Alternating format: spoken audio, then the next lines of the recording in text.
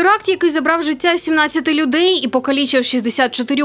Четверта річниця з дня обстрілу бойовиками Краматорська. У місті Донеччини приспустили прапори. У сквері героїв відбувся і мітинг реквієм у пам'ять про жертви. У закладного каменю поклали квіти. 10 лютого 2015-го близько полудня російські найманці відкрили вогонь по житлових кварталах міста і по аеропорту. Там розміщувався штаб антитерористичної операції. Бойовики випустили 32 ракети з установок «Смерч». Це системи залпового вогню. Всього по Краматорську та околицях в той день розлетілося понад мільйон смертоносних осколків. Військова прокуратура України кваліфікувала обстріл як терористичний акт.